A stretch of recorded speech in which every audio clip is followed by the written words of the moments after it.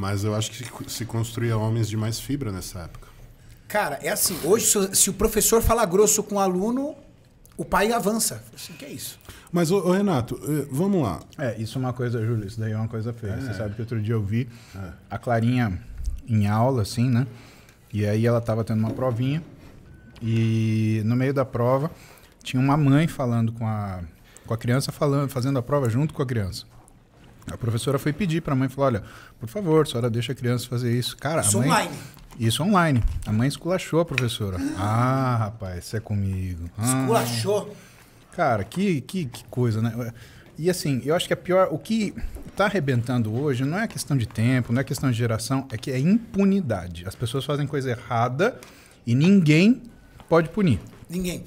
Um amigo meu é professor e ele parou de dar aula, isso no ano de 2019.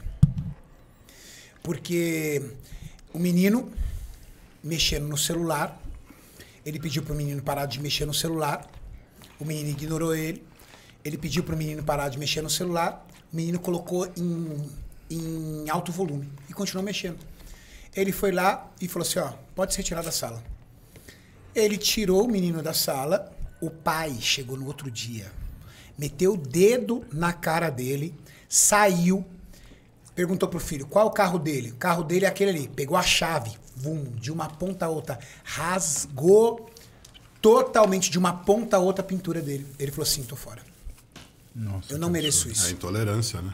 Eu É mereço intolerância. Não, isso é falta de educação. Não, né? hoje intolerância. é- isso é uma assim. canalice. É canalice, porque hoje você não dá educação pro seu filho na escola, na- em casa, ele vem pra escola, o pai acha que o filho tem que ser educado na escola. Não. Educação você dá na sua casa. Na escola você dá Exatamente. cultura, é conhecimento, Conhecimento, informação. cultura, educação exato. é lá. Aí você, o professor, tem um aluno que não tem educação, o professor não tem obrigação de manter esse aluno em sala de aula e pede para ele se retirar.